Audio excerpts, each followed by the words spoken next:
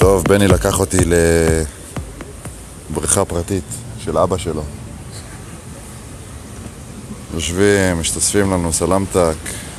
בני, רוצה להגיד משהו?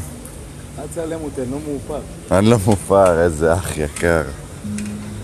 תשמע, אתה יותר לבן מהרוסיה הוא שם, והוא לבן סיד, כאילו.